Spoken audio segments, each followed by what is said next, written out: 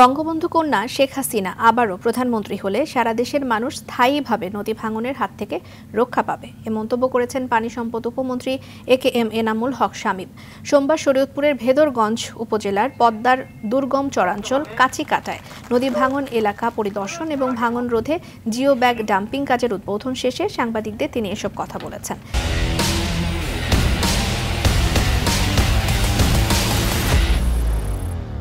এ সময় তিনি আরও বলেন, প্রধানমন্ত্রী শেখ হাসিনার নির্দেশে শরীয়তপুর সহ সারা দেশের মানুষকে স্থায়ীভাবে নদী ভাঙন থেকে রক্ষা চলছে, রক্ষায় কাজ চলছে।